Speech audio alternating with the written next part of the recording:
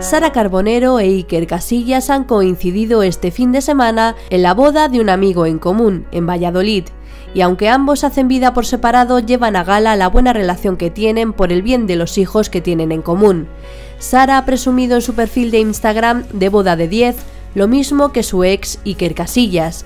De hecho, la periodista ha compartido unas bonitas instantáneas de la ciudad y del lugar de la ceremonia, diciendo que todo lo importante está en el aire y que no se debe hacer caso a nadie. No sabemos si es una indirecta para alguien o no, pero lo cierto es que Sara está de lo más feliz con su nueva vida, con su nueva pareja Kiki Morente y van camino de convertirse en la pareja del verano. Ambos están en pleno esplendor de amor puesto que ya conocen a sus respectivas familias y todo parece indicar que van viento en popa.